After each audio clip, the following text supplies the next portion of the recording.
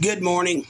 Oh my gosh, I was like, You look beautiful. That's my sexy, amazing, smoking hot wife. Whatever oh, on them. And there's the girls. Good morning.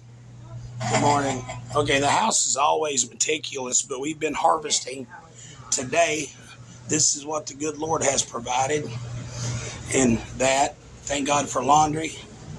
But today, I'm going to make salsa. Probably going to upload two videos. Today's just a start. I've never canned before.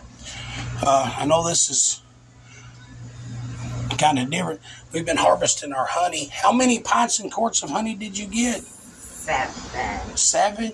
Yeah, we got a lot of honey. So anyway, the house is in a harvest mode.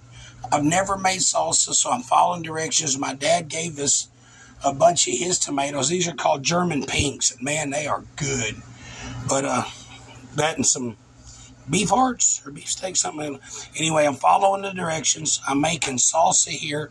Um, these are homegrown jalapenos. They're mild. Take the seeds out. They still got the kick without the, oh, I want to die.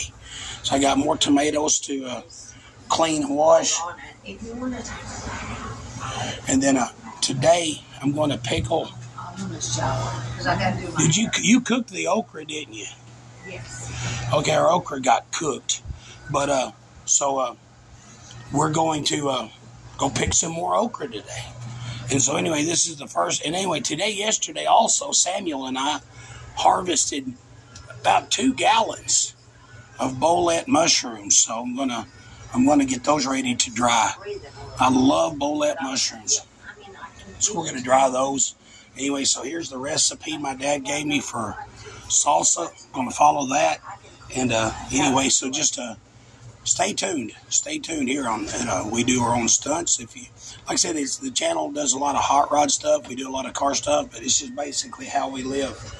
So, uh, th- to thank y'all for coming along and joining us.